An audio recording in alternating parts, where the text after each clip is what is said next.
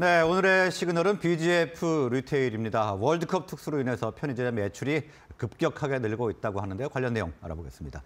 자, 월드컵 때 맥주, 뭐 음료, 주류 판매가 엄청나게 늘었다면서요? 네, 내일 새벽 4시는 4시여가지고 광화문에 안 모일 것 같은데 그 전에는 네. 이제 12시에 열렸기 때문에 포르투갈전이 또 워낙 극적이었기 때문에 BGF 리테일 CU의 그 주류 매출이 엄청나게 급성장을 한 지금 결과가 발표가 됐습니다. 그리고 그 CU에서 그 바로 직전이에요, 그게. 12시 전에 저녁 8시, 9시부터 시작해서 경기 열리기 12시 전까지 급격히 늘었다가 경기가 열리는 시간에는 아무래도 경기에 집중하다 보니까 떨어졌다가 다시 경기가 끝나고 승리하고 2시 넘어서 또 매출이 급격히 증가했다고 합니다. 아, 그 시간에요? 예, 네. 이거는 이거는 경기 결과가 또 좋았기 때문에 그 뒤에 또 뒷- 뒷불을 했다는 거죠. 근데 이 열기가 또 이어졌잖아요. 그리고 특이할 만한 상황, 상황은 가나 초콜릿 매출이 급증했다고 합니다. 아무래도 네. 12년 전에 그 수아레스의 그 소, 우리나라 이동구 선수 물 회오리 슛 할 때 그때 있죠.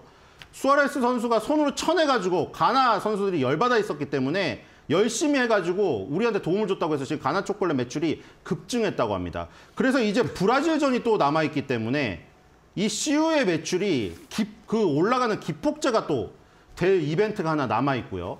그 다음에 그거는 뭐 단기적으로 지나간다고 해도 그쵸? 뭐 영원 우리가 나가 영원히 막 정말 뭐 아이 뭐 100%는 없으니 빵프로는 없으니 확률이 결승전 가면은 뭐 더 대박이 나갔지만 사실 사실 상황적으로 이게 연속으로 되긴 힘들잖아요. 만약 그렇다고 하면은 금방 이게 사고로 들면은 그러면 CU의 매출 저거는 단기적인 이슈가 아니냐. 그럼 이제 중장기적 이슈가 깔려 있으면은 그런 것들이 중간중간에 또 튀는 것을 좀 중장기적으로 이어질 수가 있겠죠. 그거는 뭐냐면 지금 저도 막 밖에서 그 앵커님들랑 대화하다 보면은 다 이거예요. 뭐 예를 들어서 지금 오뚜기에서 뭐 순후추 콘이라는 게 나왔더라고요. 옛날 오뚜기에서 순후추가 유명하잖아요. 근데 그걸로 아이스크림을 만든 거예요. 근데 네. 다 대화 내용이 그거를 예를 들어서 아 오늘 오늘 어, 어저께 뭐 주말에 이마트를 갔다 왔는데 이마트에서 순후추 콘이라는 게 나왔더라. 이렇게 대하는 사람 한 명도 없습니다. 다 뭐라고 하죠? 편의점을 갔더니 콘이 나왔는데 야 너무 새롭더라 이런 콜라보 제품이. 다 이런 편의점에서 뭔가 콜라보 제품이 나왔다는 이슈에 대해서 얘기를 하지. 야, 어, 나 오늘 현대백화점에 가서 푸드코트 거기 슈퍼마켓을 갔는데 거기에 오뚜기 순우축권이 나왔는데 신기하더라. 이런 얘기 아무도 안 해요. 그런 얘기는 뭐냐면 소비자와의 접점이 굉장히 이 가까이 있다는 게 장점이란 얘기예요.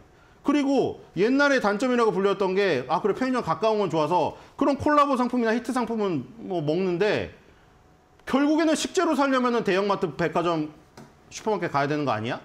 이런 얘기를 했잖아요. 근데 지금 뭐 그런 거 유통업계가 무슨 힘드니 뭐니 살아나니 이런 데 댓글 보세요.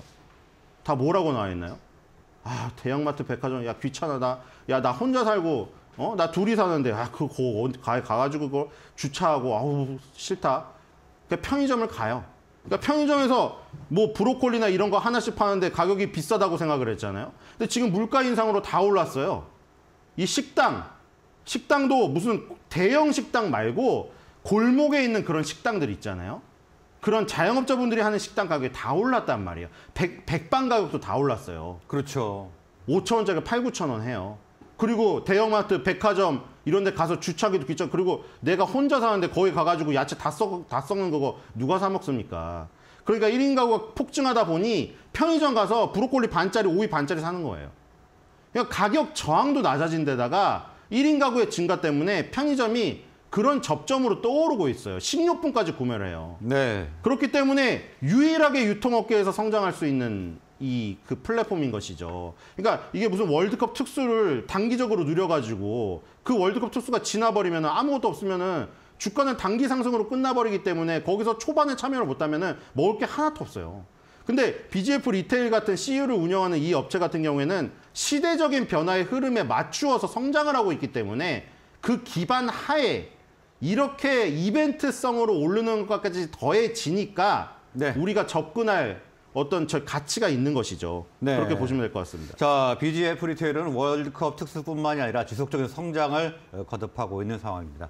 자, 그럼 가격 전략 간단하게 좀 볼까요? 예, 지금 22만 원 여기가 관건이겠죠. 지금 2017년에 BGF랑 BGF 리테일이 분할되어서 지금 상장된 이후에 여기에서 2019년까지 2년 동안 지금 요 행보를 하다가 여기서 깨고 내려갔죠. 2019년에. 그랬더니 보세요. 여기가 지지권이었는데 그 다음에 어떻게 바뀌었습니까? 깨고 내려가니까 저항권이 아, 저항선이 돼버렸습니다. 네. 근데 저항권이 되어서 그걸 뚫으려고 한 번, 두 번 시도를 하다가 이전 3기 만에 여기 지금 돌파에 성공을 했어요. 그래서 일단은 22만 원까지 갈 동력을 얻었습니다. 그래서 일단은 22만 원까지 있으니 그래도 10%잖아요. 일단은 단기 목표는 10%인데 만약에 그 2년간의 박스권 고점이었던 22만 원을 돌파를 하면 여기랑 지금 반대 현상이 일어나겠죠. 한 번만 돌려볼게요. 자, 거꾸로 차트입니다. 거꾸로 거꾸로 돌린 거예요 이게. 네. 이 여기서 보면 어떻게 됐어? 어떻게 됐죠? 이 고점을 돌파하고 나서 고점이었던 게 저항권이 지지권으로 바뀌었잖아요. 그러니까 지금 이번에도 생각을 해보시면 만약에 22만에 돌파되고 여기서 지지권으로 바꾸면 위로 올라갈 수가 있다는 거죠. 그러니까 두 번째는 그, 그 지금 그걸 바라보는 겁니다. 1차 목표는 22만 원인데 네. 만약 22만 원을 돌파해 가지고 여기를 지지권으로 형성을 해 버리면은 새로운 곳이 열리는 거죠. 아까 우리가 2020년과 2021년에 이 저항권이 지, 지지권이었던 게 저항권으로 바뀌는 이 그 경험을 했듯이 반대로 저항권이 지지권이 되는 경험을 할 수가 있다는 겁니다. 네. 그래서 1차 목표는 22만 원, 22만 원에 돌파돼서 지지가 되는 게 확실히 확인이 되면은 그 이상도 볼 수 있다. 이렇게 말씀드릴 수 있겠습니다. 네, 오늘은 BGF 리테일에 대해서 자세하게 분석을 해봤습니다. 오늘 말씀 여기까지 듣겠습니다. 고맙습니다.